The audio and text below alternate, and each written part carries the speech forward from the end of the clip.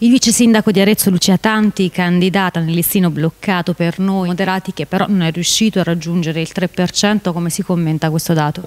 Che in 33 giorni non si fa un partito ma probabilmente si comincia una strada. Quando mi è stato proposto di fare questa sfida era per dare un orizzonte politico alle liste civiche, ai moderati, a quelli che in questi anni hanno trovato casa attraverso le liste civiche dei territori ma a livello nazionale non avevano una identità. Evidentemente ci abbiamo pensato un po' tardi, abbiamo fatto una scelta di coraggio perché potevamo dire beh tardi insomma ci accasiamo come qualcuno ha fatto da qualche parte invece abbiamo detto beh proviamoci, vediamo come va a finire. In realtà non è andata a finire bene perché il 3% non l'abbiamo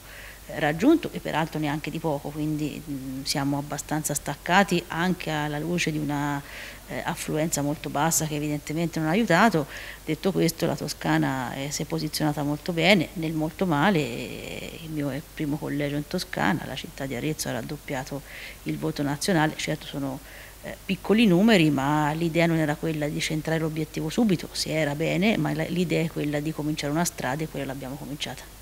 Ecco, intanto a livello nazionale ha vinto il centrodestra, insomma che futuro si ha? Ma insomma io sono molto contenta di questa vittoria,